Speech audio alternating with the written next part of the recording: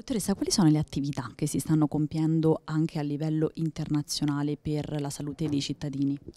Allora, io mi occupo di biologia molecolare, studio dei sistemi biologici e della loro organizzazione. Tra questi ricordiamo che c'è anche l'uomo, ovviamente come sistema biologico visto in maniera integrata con gli altri sistemi. Allora, la salute e il benessere degli esseri viventi, uomo incluso, è un elemento che ormai è di interesse e di attenzione generale, soprattutto sapendo che l'ambiente sta cambiando, anche per effetto dell'impatto antropico, sta cambiando e sta cambiando in maniera eh, eh dannosa per la salute dell'uomo, ma dannosa anche per la salute di tutti gli altri esseri viventi che popolano il, la Terra. E questa cosa è ormai sotto gli occhi di tutti. E la conoscenza di questi sistemi, ripeto, io generalizzo da quelli che sono i microbi, dagli organismi più piccoli alle piante, agli, animali che popolano le acque, che popolano la terraferma, all'uomo, sono eh, elementi tangibili che dobbiamo tenere presente e conoscere. Allora,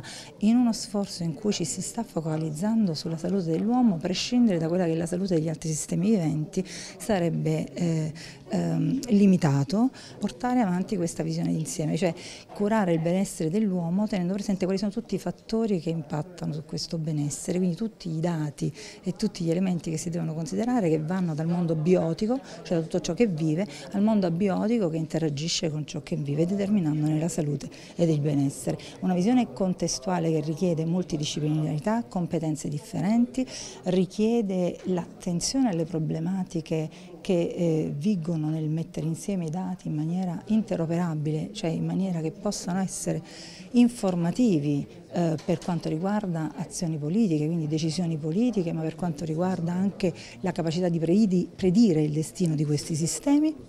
e comunque la capacità di poter intervenire in maniera preventiva piuttosto che eh, curativa, ma comunque conoscere come i sistemi, apprendere come i sistemi cambiano e rispondono alle variazioni eh, per poter intervenire in maniera eh, efficace, precoce e a minor costo. Tutto visto in una visione che si allarga rispetto alla visione del solo uomo nonostante l'importanza che lui rivesta, ma in modo tale da poter avere uno sviluppo sostenibile di qualsiasi attività che abbia al centro il benessere umano.